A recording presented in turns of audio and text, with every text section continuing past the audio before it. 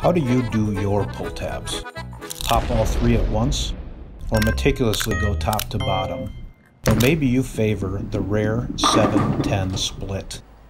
Started from the bottom, now we're here. Teamwork makes the dream work. Ah, yeah, we don't even know what this is. How about those winners?